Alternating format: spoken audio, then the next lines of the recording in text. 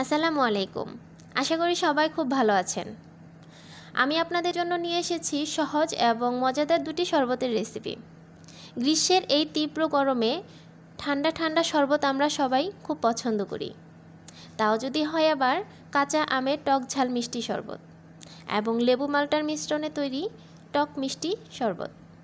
চলেন তাহলে দেখে নেই শরবতগুলো তৈরি করার জন্য কি কি উপকরণ লাগবে।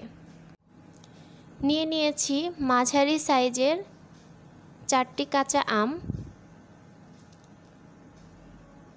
আস্ত কাঁচামরিচ, পুদিনা পাতা, ধনিয়া পাতা, চিনি, লবণ। আর সাথে নিয়েছি দুইটা লেবু, একটি মালটা। কাঁচা আমগুলোর খোসা ছাড়িয়ে নেব।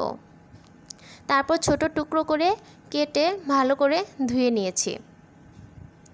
এখন একটি ব্ল্যান্ডারে কিছু বরফ টুকরো দিয়ে দিব। তার সাথে দিয়ে দিব কাঁচা আমের টুকরোগুলো।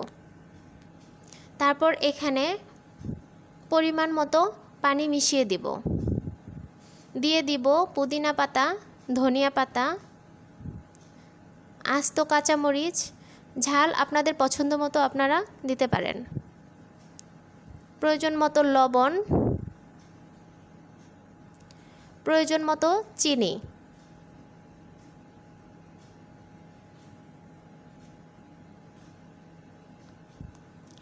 এ পর্যায়ে খুব ভালো করে ব্ল্যান্ড করে নিতে হবে।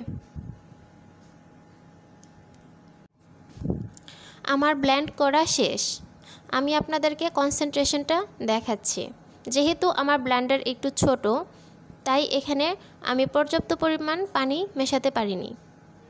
একটু কম মিশিয়ে ব্ল্যান্ড করে নিয়েছি। আপনারা চাইলে একটি ছাঁকনির সাহায্যে এই কনসেন্ট্রেশন হালকা করে নেওয়ার জন্য শুধু রসটাকে বের করে নিতে পারেন।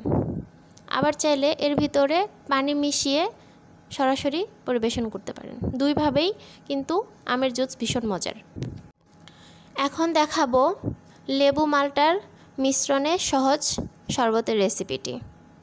প্রথমে লেবুগুলোকে মাঝখানের অংশ বাদ দিয়ে ছোট টুকরো করে কেটে নিতে হবে।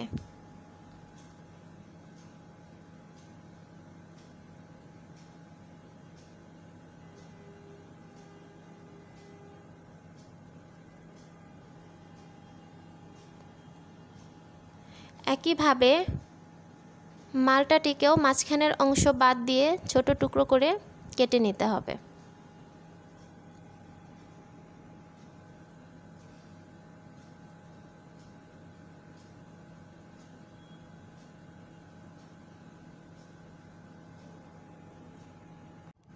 একটি ব্লেন্ডারে কিছু বরফ টুকরো নিয়ে তার ভিতরে আমি মালটা এবং লেবুর রস হাত দিয়ে চেপে চেপে দিয়ে দিচ্ছি।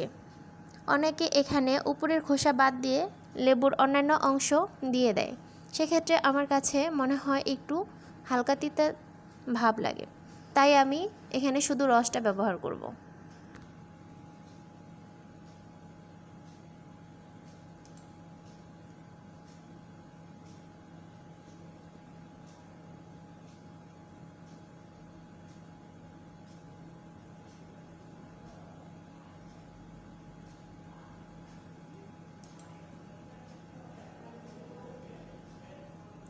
দিয়ে দিব চিনি। মিষ্টি আপনারা আপনাদের পছন্দ মতো নিতে পারেন।